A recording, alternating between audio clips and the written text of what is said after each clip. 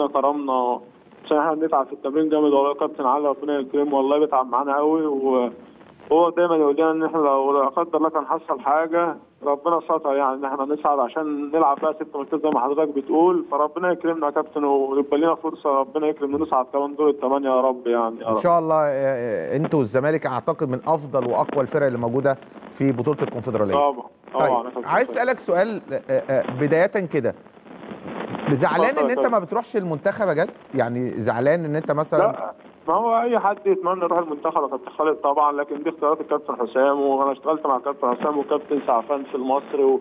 وهم بيحبوني جدا والله وكابتن سعفان وكابتن حسام وكابتن إبراهيم وكانت فترة جميلة اللي قضيتها معانا في المصري والله طبعا.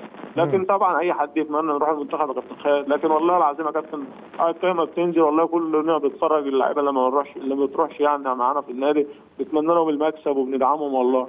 طيب. وبنبقى نفسنا إن هم يكسبوا على طول. والله يا كابتن الحمد لله. يعني. أنت واحد من آه، آه، آه، نجوم نادي إمبي قبل انتقالك للنادي المصري البورسعيدي. ما هو الفرق؟ طبعا نادي إمبي ده بيتك وكل حاجة. طبعاً، بس طبعاً. بس إيه الفرق ما بين نادي مش جماهيري ونادي جماهيري زي المصري يعني بيعشقوا كرة القدم؟ مدينة بورسعيد النادي المصري بيعشق كرة القدم وجماهيره. والله يا كابتن خالد الحمد لله. نادي جماهيري ونادي كبير و والواحد والله العظيم عارف ان الناس بتدعمه وأنا بحب الناس هناك والجماهير ومستر كامل و...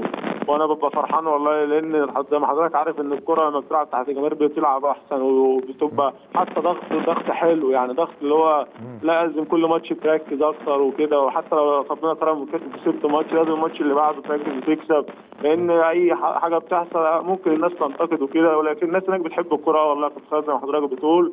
ونفسهم والله يعملوا أي حاجة عشان النادي ينجح والله. تمام. فربنا يكرم يا كابتن والله ويكرمنا السنة دي بإذن الله. إن شاء الله. كابتن محمود جد بشكرك شكرا جزيلا.